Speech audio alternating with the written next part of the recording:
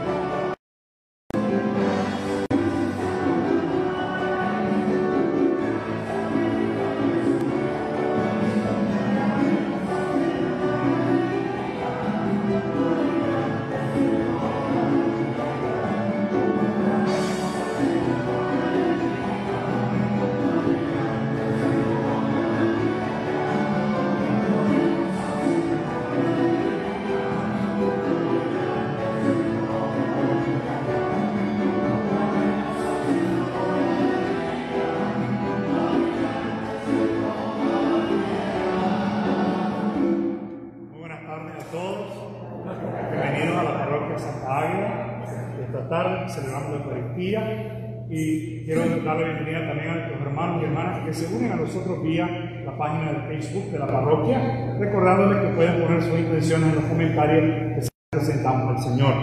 Las intenciones de esta misa son por las almas de Puki Rubí, Francisco Antonio Guido Silva, Jorge Morales Sanabria, Manuel Praga, María Luisa López Bereñas, Roberto Guevara Aburto, Rosa Victoria, Yolanda Tapia Bolaños, en acción de gracia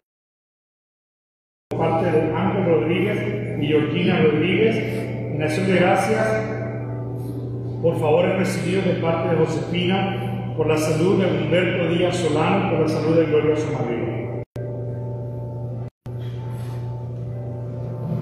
En el nombre del Padre, del Hijo y del Espíritu Santo. La paz esté con ustedes. Con tu espíritu. El Señor Jesús nos convoca en este primer día de la semana para comunicarnos su fuerza, su amor su gracia, para alentar en nosotros la esperanza, comunicarnos salud y vida. Somos el pueblo de Dios, reunidos en su nombre.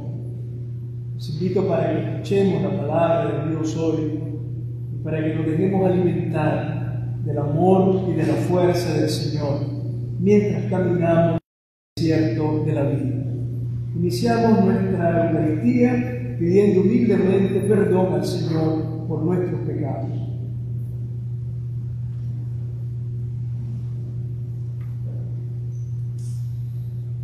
Yo confieso ante Dios Todopoderoso y ante ustedes, hermanos, que he pecado mucho de pensamiento, palabra, obra y omisión, por mi culpa, por mi culpa, por mi gran.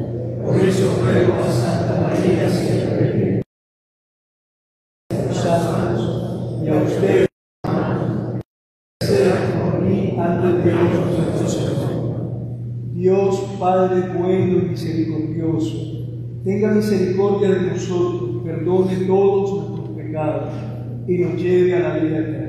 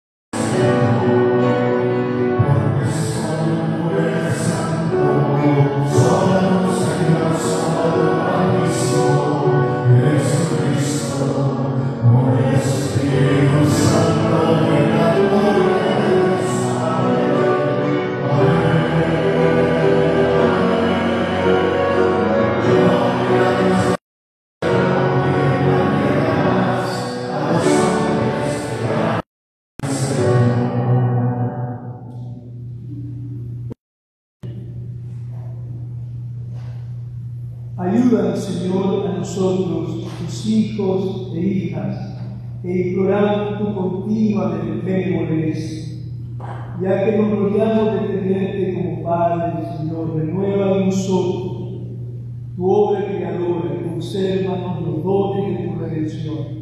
Por nuestro Señor Jesucristo, tu Hijo, que vive y reina contigo en la unidad del Espíritu Santo y de Dios por los siglos de los siglos. Amén.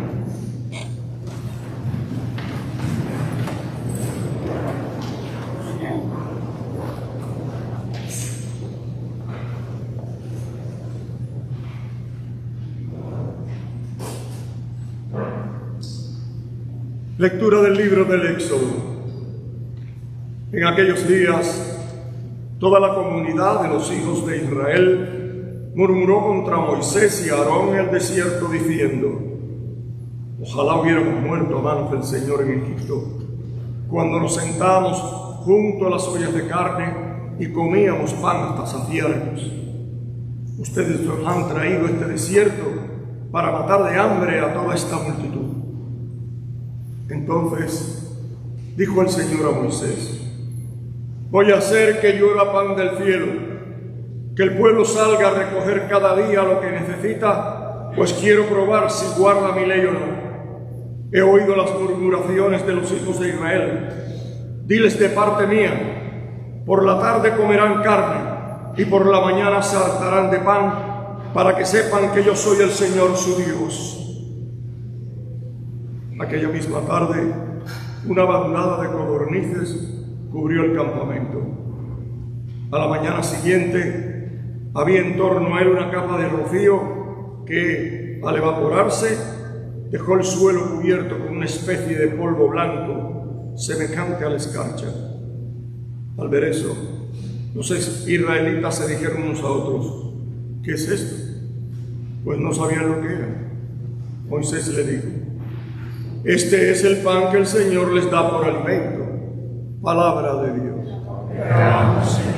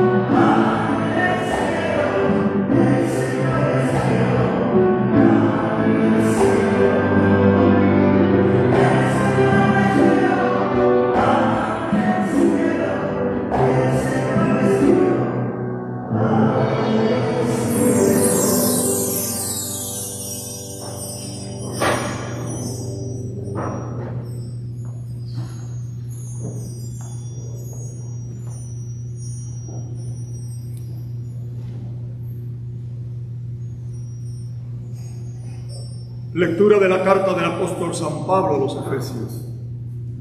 Hermanos, declaro y doy testimonio en el Señor de que no deben ustedes vivir como los paganos, que proceden conforme a lo vano de sus criterios. Esto no es lo que ustedes han aprendido de Cristo. Han oído hablar de Él y en Él han sido adoctrinados conforme a la verdad de Jesús. Él les ha enseñado a abandonar su antiguo modo de vivir, ese viejo yo, corrompido por el deseo de placer. Dejen que el Espíritu renueve su mente y revístanse del nuevo yo, creado a imagen de Dios en la justicia y en la santidad de la verdad. Palabra de Dios.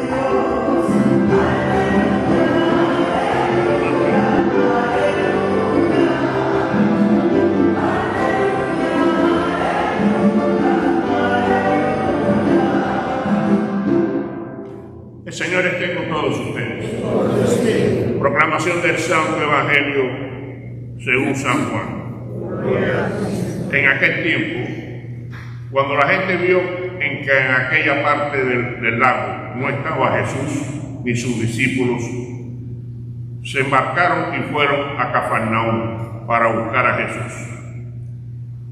Al encontrarlo en la otra orilla del lago, le preguntaron, Maestro, ¿cuándo llegaste acá? Jesús le contestó, yo les aseguro que ustedes no me andan buscando por haber visto señales milagrosas, sino por haber comido de, de aquella pan para saciarse. No trabajen por ese alimento que se acaba, sino por el alimento que dura para la vida eterna, que le dará el Hijo del Hombre, porque a este el Padre Dios lo ha, lo ha marcado con su sello. Ellos le dijeron, ¿qué necesitamos para llevar a cabo las obras de Dios? Respondió Jesús. La obra de Dios consiste en que crean en aquel a quien le ha enviado. Entonces la gente le preguntó a Jesús, ¿qué señal vas a realizar para que veamos y podemos creer? ¿Cuántas son tus obras? Nuestros padres comieron por el maná en el desierto, como está escrito, que dio de comer pan del cielo. Jesús les respondió, yo les aseguro, no fue Moisés, no fue Moisés que le dio pan del cielo, es mi Padre a quien le he dado el verdadero pan del cielo, porque el pan de Dios es aquel que baja del cielo y le da la vida eterna al mundo. Entonces le dijeron, Señor, danos siempre de ese pan. Jesús les contestó, yo soy el pan de vida, el que viene a mí no tendrá hambre, y el que cree en mí nunca tendrá sed. Palabra del Señor. Gloria a ti, Señor Jesús.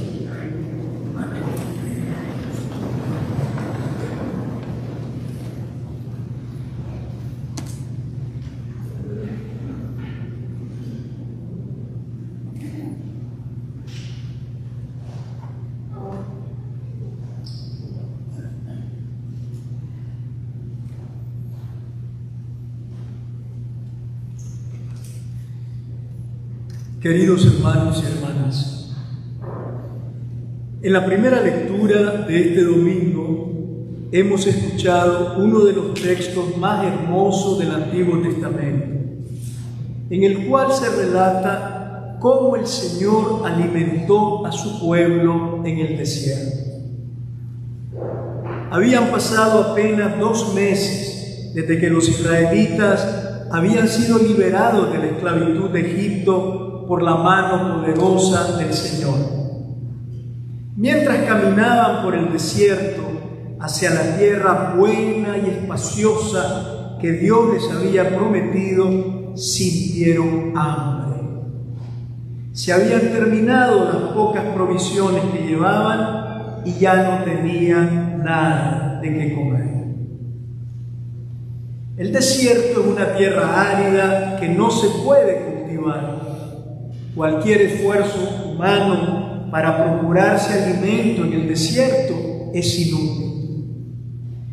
Por eso en aquel momento los israelitas se quejaron delante de Moisés y Aarón diciéndoles, ojalá hubiéramos muerto a manos del Señor en Egipto, cuando nos sentábamos junto a las ollas de carne y comíamos pan hasta saciar. Ustedes nos han traído a este desierto para matar de hambre a toda esta multitud se olvidan de que el desierto es solo un lugar de paso que hay que atravesar y lo sienten como un lugar al que han llegado definitivamente para morir.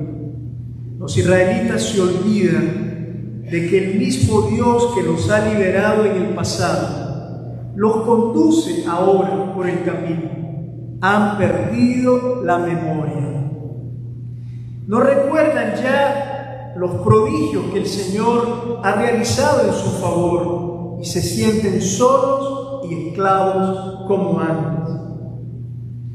También han perdido de vista la meta a la que se encaminan, la tierra que el Señor les ha prometido y que aguarda al final del camino. Habiendo olvidado los prodigios realizados por el Señor en el pasado e incapaces de ver con confianza hacia el futuro prometido, quieren desandar el camino y volver atrás. En aquel momento surge la nostalgia de Egipto y el pueblo empieza a añorar las ollas de carne que comían cuando eran esclavos sometidos al faraón. En la vida no faltan los momentos de desierto en los que surgen graves dificultades. Aflora la conciencia de la propia debilidad y se experimenta temor, confusión y soledad. Cuando esto ocurre, es necesario mantener viva la memoria y recordar lo que Dios ha hecho amorosamente por nosotros en el pasado. Dios que ha sido bueno lo seguirá siendo siempre. Esta memoria humilde y creyente nos dará fuerza y nos dispondrá a abrirnos a nuevas manifestaciones salvadoras de Dios en el futuro. También en la historia de los pueblos que luchan por su liberación, hay momentos en que las fuerzas parecen agotarse. Se siente y se tiene la impresión de que no se ha avanzado nada y de que todo ha sido inútil. Cuando esto ocurre, hay que recordar el pasado y traer a la memoria los momentos en que hemos podido experimentar la libertad y la justicia como posibles. Lo que fue posible en el pasado sigue siendo posible ahora.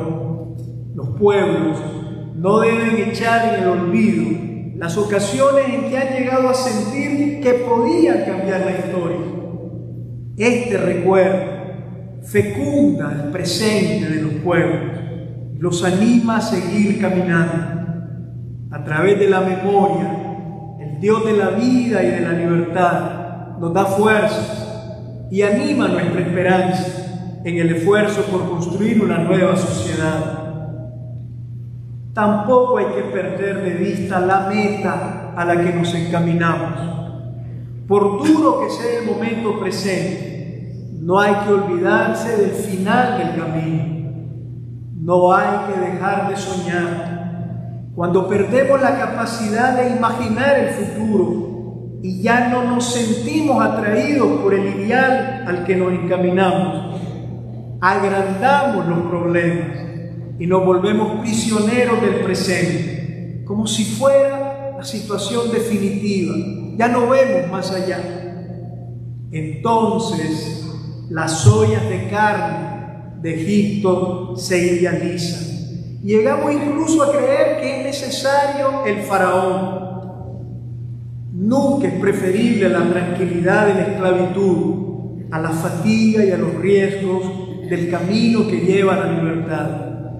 Los pueblos no deben confundir nunca el sometimiento con la tranquilidad ni la esclavitud con la libertad. Cuando los israelitas en el desierto no ven otra posibilidad, sino la de volver a la tierra de la esclavitud, a Egipto, interviene el Señor, preocupado por la vida y la libertad de su pueblo. Dios está dispuesto a todo con tal que su pueblo no vuelva a ser esclavo. Por eso le comunica a Moisés, que va a hacer que llueva pan del cielo. El pan ordinariamente es cultivado y surge de la tierra, es fruto del trabajo y del esfuerzo humano. Aquí Dios promete un pan que viene de arriba, que viene del cielo y que Él va a dar como un don de su amor, independientemente del esfuerzo humano. Efectivamente, al día siguiente, apareció sobre el campamento de los israelitas el maná, algo parecido a la escarcha, con el cual se alimentaron y pudieron sobrevivir en el desierto hasta llegar a la tierra prometida. El maná era un don gratuito de Dios, pero que había que irlo a recoger cada día. Los dones de Dios se reciben en la medida en que nos esforzamos por conseguirlos. El maná no era como las ollas de carne de Egipto, frente a las cuales los israelitas se sentaban para comer, pero seguían siendo esclavos. El maná es el pan de la libertad porque viene de Dios y da fuerza para continuar en el camino que nos aleja de toda esclavitud. Por eso en la tradición bíblica el maná se volvió un signo de la presencia amorosa y providente del Señor, que siempre nos acompaña y nos sostiene. En los desiertos de la vida, cuando se cae la seguridad humana y experimentamos la propia debilidad, allí está, allí estará Dios junto a nosotros, como un Padre que nos cuida amorosamente y que no nos deja nunca abandonados y solos. El relato del maná sirve de trasfondo para comprender mejor el texto del Evangelio de hoy, que es continuación del relato de la multiplicación de los panes que escuchamos el domingo pasado. Habiendo comido del pan dado por Jesús, la gente se fue tras él para buscarlo al otro lado del lago.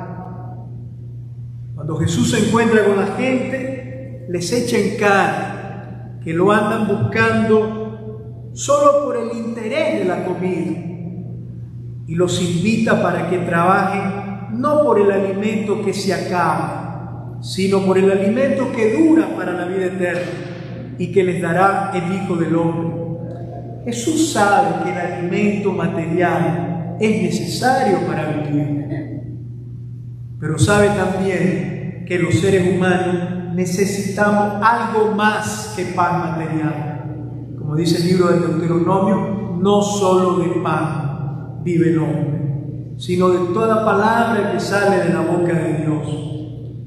Sin un alimento superior que nos nutre el corazón y el alma, no llegamos a tener consistencia interior y somos siempre muy vulnerables ante los problemas y los retos de la vida.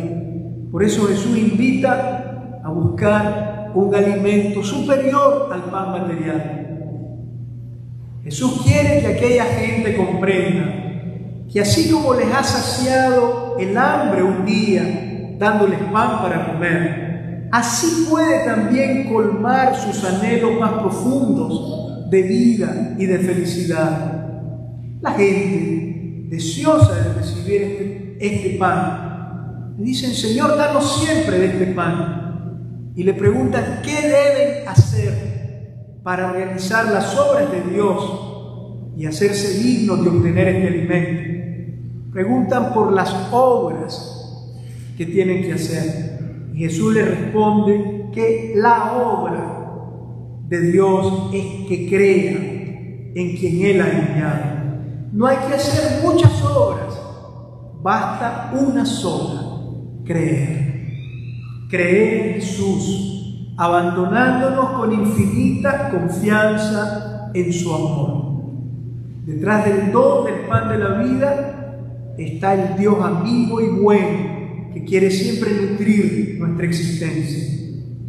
El mismo Dios que como Padre bueno y providente había alimentado a Israel con el maná en el desierto, también hoy desea alimentar nuestra vida y nutrir con el pan de su amor nuestra existencia.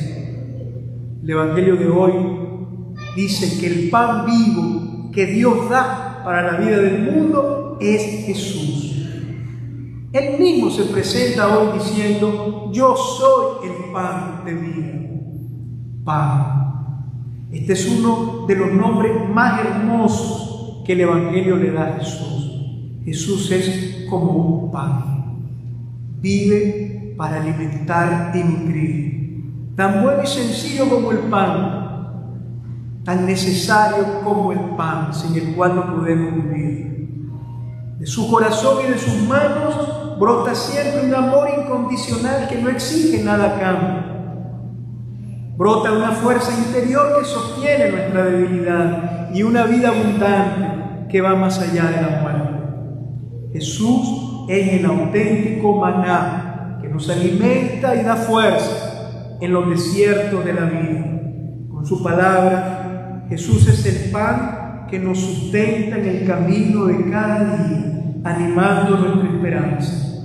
Con su amor, Jesús es el pan que fecunda y hace florecer nuestro corazón, para que lleguemos a ser también nosotros pequeños trozos de pan para la vida del mundo. Amén.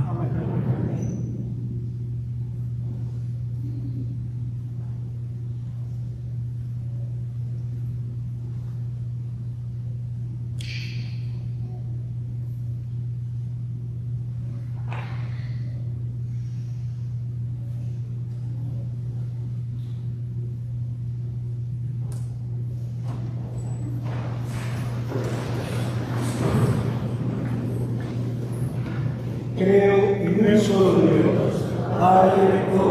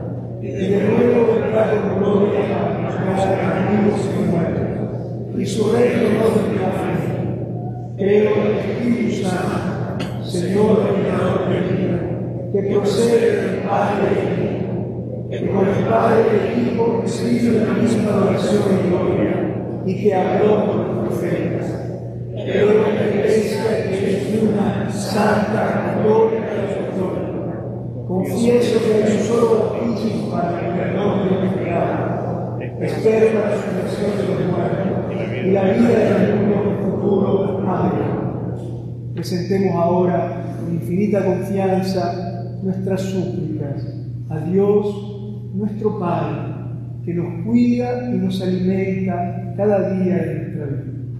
Nuestra respuesta será, Señor, escucha nuestra oración. Por el Santo Padre y todos los que sirven a la Iglesia, oremos al Señor. Por las naciones que se esfuerzan para encontrar a los extraviados y dar de comer a los hambrientos, oremos al Señor. Por todos los que buscan la sabiduría de la palabra del Señor, oremos al Señor. Por amor, tolerancia y comprensión en nuestra comunidad, oremos al Señor.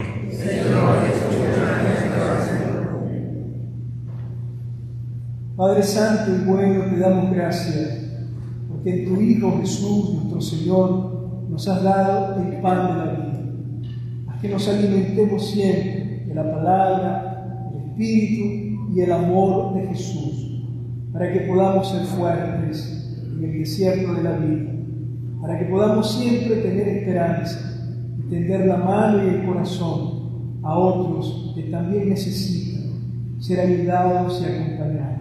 Te lo pedimos por el mismo Jesucristo, nuestro Señor. Amén.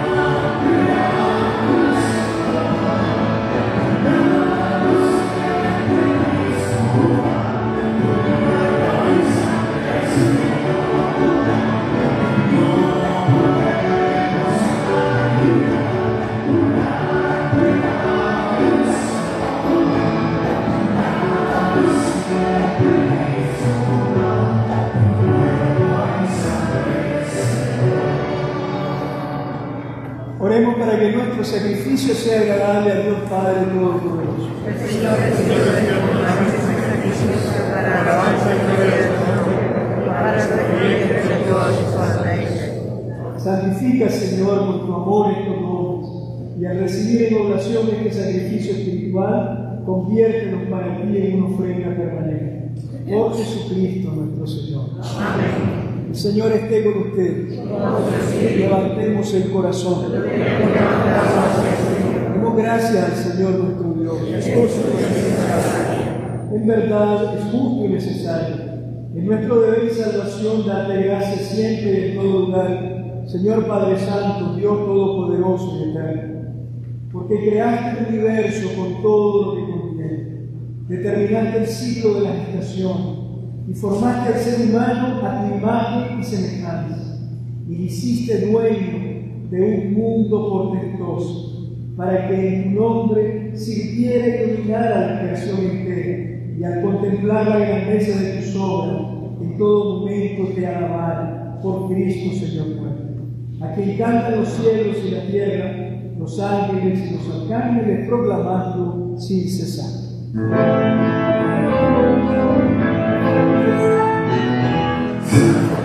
Amén.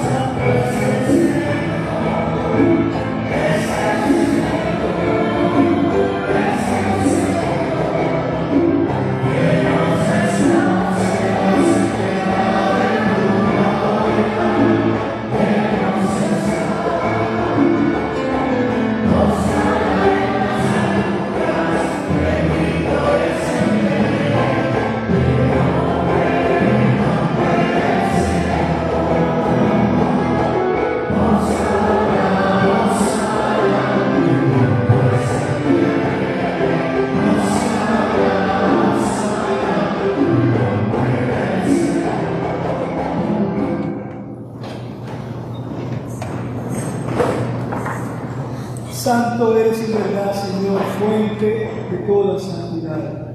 Por eso te pedimos que santifiques estos dones con la efusión de tu Espíritu, de manera que se conviertan para nosotros en el cuerpo y la sangre de Jesucristo nuestro Señor, el cual, cuando iba a ser entregado a su pasión voluntariamente aceptada como pan, dándote gracias, lo partió y lo dio a sus discípulos diciendo, tomen y coman todos de él, porque esto es mi cuerpo que será entregado por ustedes.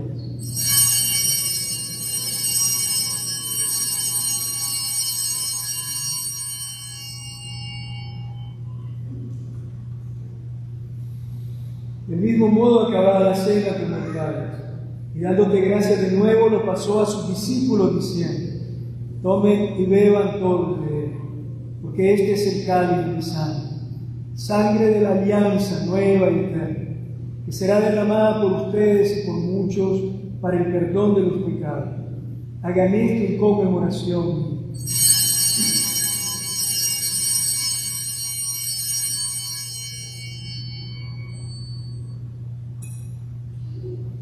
Este es el sacramento de nuestra fe.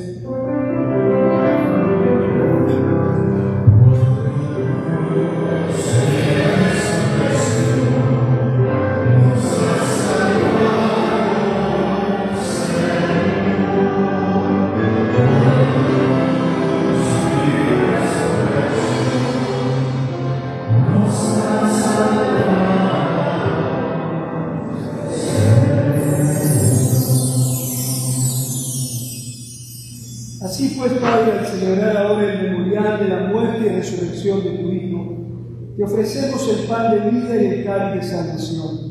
Y te damos gracias porque nos haces dignos de servirte en tu presencia. Te pedimos humildemente que el Espíritu Santo congregue en la unidad a cuantos participamos del cuerpo y la sangre de Cristo. Acuérdate, Señor, de tu iglesia extendida por toda la tierra, por el Papa Francisco, por nuestro obispo Tomás, Señor Silvio José Báez aquí presente, y todos los pastores que cuidan de tu pueblo, llévala a su perfección por la caridad. Acuérdate también de nuestros hermanos que se durmieron en la esperanza de la resurrección.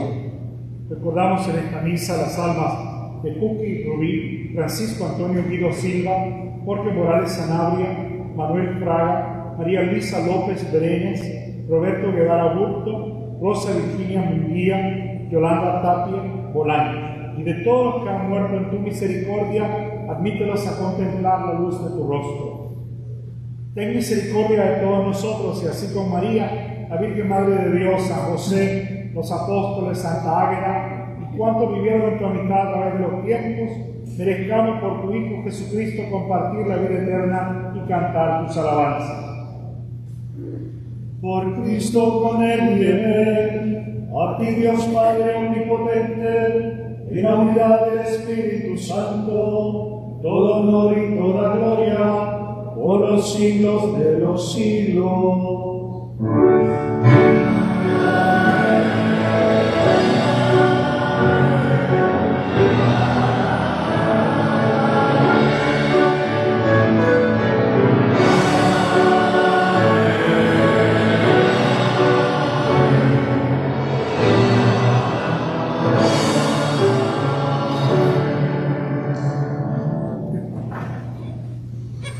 Como hijos e hijas de Dios, oremos a nuestro Padre del cielo, como Jesús nos ha enseñado.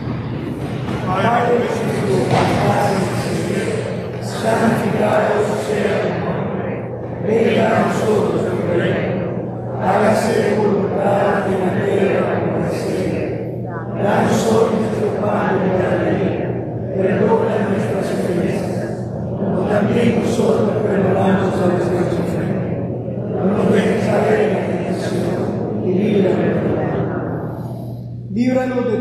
Males, Señor, y concédenos la paz en nuestros días, para que, ayudados por tu misericordia, vivamos siempre libres de pecado y protegidos de toda perturbación, mientras esperamos la gloriosa venida de nuestro Salvador Jesucristo. Señor Jesucristo, que diste a tus apóstoles, la paz les dejo, paz nos roba. No tengas en cuenta nuestros pecados, sino la fe de tu iglesia. Y conforme a tu palabra, concédenos la paz y la unidad. Tú que vives y reinas por los siglos de los siglos. Que la paz del Señor esté siempre con ustedes. Mis hermanos, démonos fraternalmente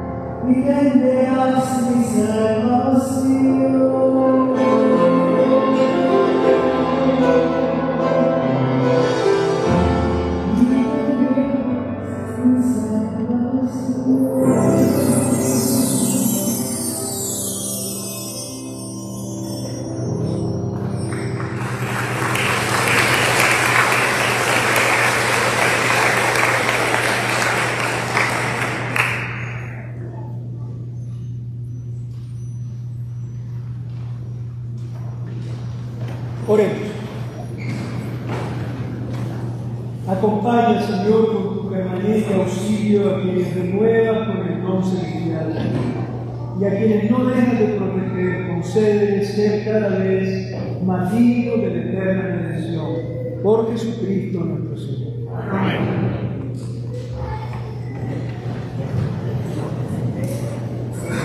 Quiero agradecerle su presencia hoy aquí en la iglesia, en misa, y todo el mundo con máscara. Me muchísimo. Tenemos que cuidar muchísimo. Tenemos que cuidar a los demás también, muchísimo. Dice, como dicen que Miami es el epicentro ahora de todos los Estados Unidos con esta cosa del Delta, así es que hay que cuidarse y hay que, hay que vacunarse. No hay que tenerle miedo. Ya la Conferencia Episcopal de los Estados Unidos ha dicho de que es moralmente correcto vacunarse y que hay que hacerlo por la protección no solo propia, sino que por los demás. Así que le agradezco muchísimo su cooperación, que siempre estén con máscara en la iglesia, que no vengan de rebeldes, pero aquí se viene humilde a la iglesia. También eh, agradecerle su apoyo económico. Espero que la semana pasada que Monseñor les pidió que dieran en la colecta hayan dado bastante. Por supuesto. Ahorita lo confieso allá del nombre. Acuérdense que estamos ya iniciando la remodelación, reconstrucción del Jardín de la Virgen. Ahí pueden ver, hay un termómetro que le dije yo a mi secretaria que por favor me lo hiciera para darle un, información retroactiva, feedback en inglés, eh, darle de que supieran por dónde vamos. Agradecidamente de todo mi corazón por la respuesta con el Jardín de la Virgen hasta ahora. Llevamos un poquito más de 25 mil dólares. Muy bueno, muchas gracias. Pero hace falta, así que van a ver el termómetro que todavía que subir la temperatura. Y les agradezco mucho su apoyo para esta, este proyecto que es de todos y para todos. Ahora, las personas que están en línea pueden hacerlo en línea también. Pueden darnos a través del internet, que su apoyo siempre es muy apreciado. Que Dios los bendiga y que tengan una muy buena semana. Amén.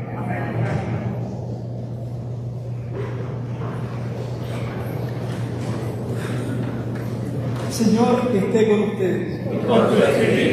La bendición de Dios Todopoderoso, Padre, Hijo y Espíritu Santo, descienda sobre ustedes y les acompañe siempre. Mis hermanos, ha terminado. Vayamos en la paz del Señor.